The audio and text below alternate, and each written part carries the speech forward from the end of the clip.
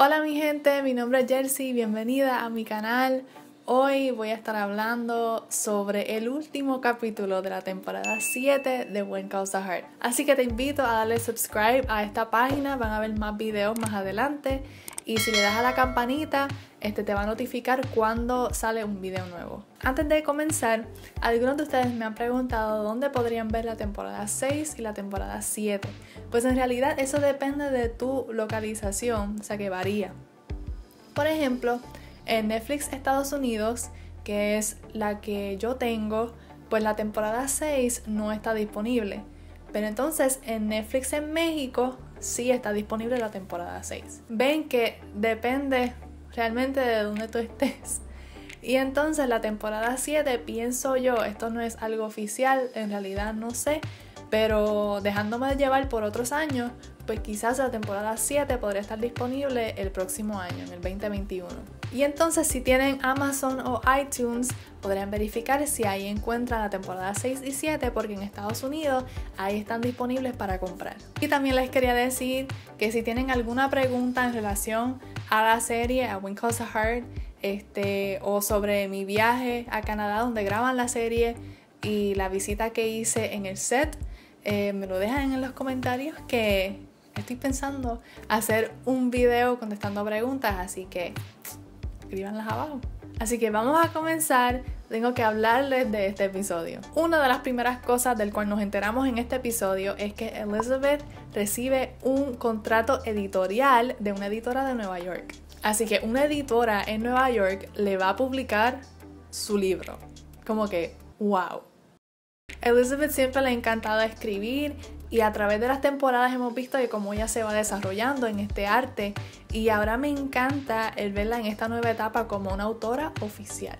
Y desde el comienzo de esta serie vimos como Jack apoyó a Elizabeth en este sueño. Entonces ahora en esta temporada 7, Lucas la, la fue ayudando, la fue apoyando para que ella pudiera lograr este sueño. Vamos ahora con Lee y Susana.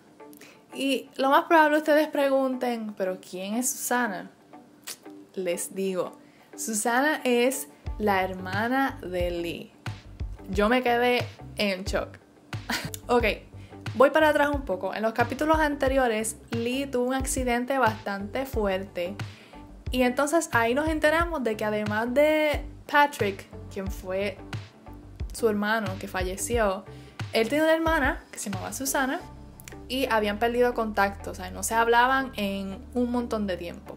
Pues Lee hace todo lo posible por conseguirla, la consigue, logra hablar con ella, pero ella rápido, tú notas que no está dispuesta a reconciliarse con él ni hablar con él. Él le hace la invitación a Hope Valley, no sabemos si ella lo vaya a aceptar o no.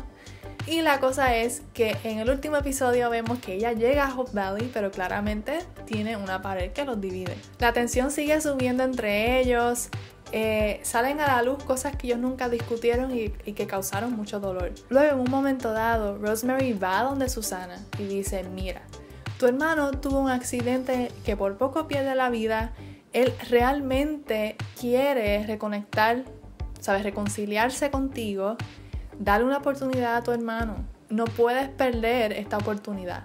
Y ya para el final de este episodio ellos pudieron aclarar las cosas, pudieron hablar, pudieron eh, expresarse de su corazón y logran reconciliarse y fue un momento bien bonito. Otra de las cosas que pasan en este episodio es que Henry Gowan por poco se desmaya en el café. Él siente tanta preocupación, siente tanto estrés por la condición de su compañía. Y a mí me da pena porque uno ve lo importante que es esa compañía para él. Y en un episodio anterior él dijo, esta compañía, Gowan Petroleum, es lo único del cual yo he estado orgulloso. Entonces Gowan es un poco obstinado y no quiere que otra persona se haga cargo. Pero entonces, si él decide cerrar, él se da cuenta que muchas personas en el pueblo se van a quedar sin trabajo y él va a afectar un montón de personas. Así que con el consejo de Elizabeth y de Lucas, pues básicamente ahora Lucas es el propietario de la compañía de Gowan. Así que tengo mucha curiosidad en ver cómo va a ser esa dinámica en la próxima temporada. Ahora tengo que hablarles de una escena entre Elizabeth y Lucas.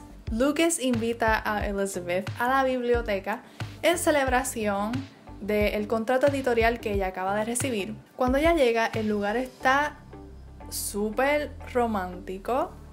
Velas, flores, hay una mesa en el medio como para una cena. Y ella como que, ok, ¿qué es esto? Pero entonces él dice, no, esto no es una cita, esto es solo dos amigos celebrando este gran momento. Y uno dice como que,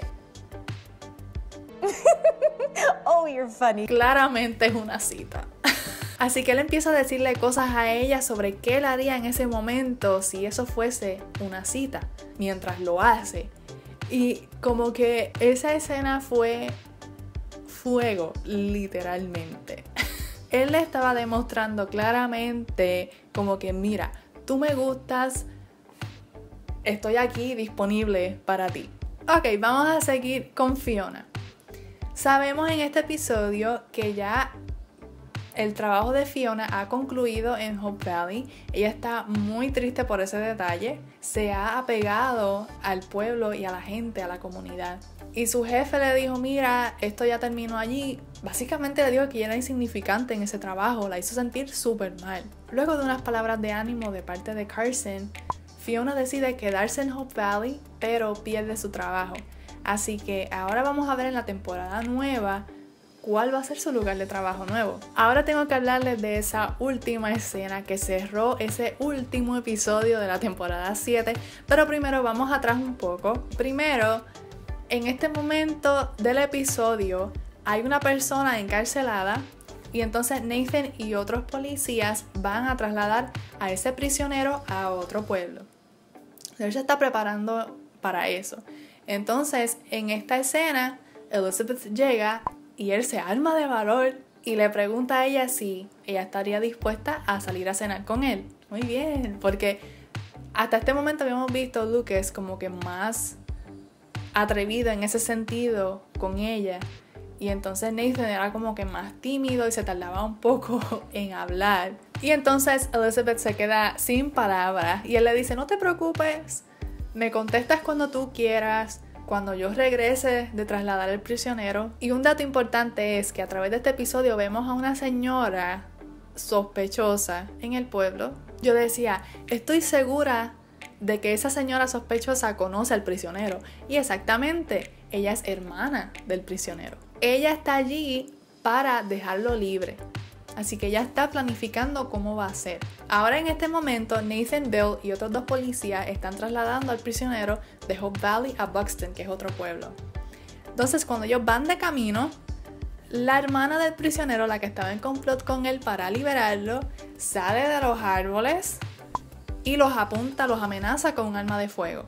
Y uno como que, ¡Ah! aquí se formó. Entonces en este momento, Nathan trata de calmarla y Bill hace lo mismo también, están tratando de formar un acuerdo con ella, cuando de momento ella dispara. Entonces hay un anuncio. Y uno como que... ¿Qué pasó? Entonces en ese momento fueron los anuncios más largos de mi vida. Entonces Bill llega rápido a Hope Valley. Él tiene la persona que está herida, pero nosotros no vemos quién es. Elizabeth escucha de que alguien está herido y alguien dice, mira, yo creo que es Nathan. Ella sale a ver quién es y la cámara enseña las botas que usan los policías.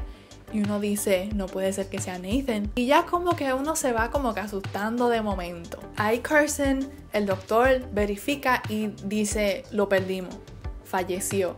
Y uno acá, ok, espérate, espérate. Elizabeth está como que recibiendo toda esta información y la cámara va y enseña el fondo detrás de ella y está como que borroso y se ve que hay un policía, o sea, el uniforme es rojo, que viene hacia ella y se va aclarando y quién era era Nathan. Todo el mundo suspira de alivio. Entonces claramente en la cara de él se ve que le está bien afectado. Entonces ella en alivio va corriendo hacia él. En este momento Lucas sale del Queen of Hearts y para ver lo que estaba pasando y Elizabeth va y abraza a Nathan. Y ese momento fue épico. Entonces la vemos a ella como con ese alivio, pero también ella estaba siendo reconfortada. Y él me imagino yo que estaba como que me está abrazando, pero a la vez como que está súper estresico, quizás no estaba ni en el momento, él estaba quizás pensando en lo que acababa de pasar. No sabemos realmente lo que eso vaya a significar, así que más adelante en la próxima temporada estoy segura de que se va a hablar de eso. Así que ese fue el último episodio de la temporada número 7. Esto fue como que un resumen. Gracias por acompañarme. Eh, espero que sigan bien y que tengan una linda semana. Así que bendiciones. Bye.